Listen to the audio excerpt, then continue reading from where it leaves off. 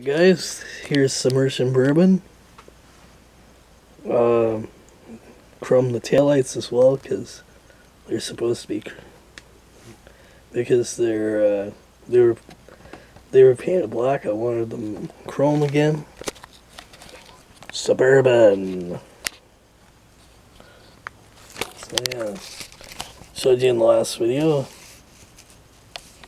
Uh, we put the chrome trim, chrome pieces back on on the front, the bezels and the grill. Here's the 327 again. Yeah. It's got a uh, Hurst competition shifter with a Sun Sun Super Tach. So there you go.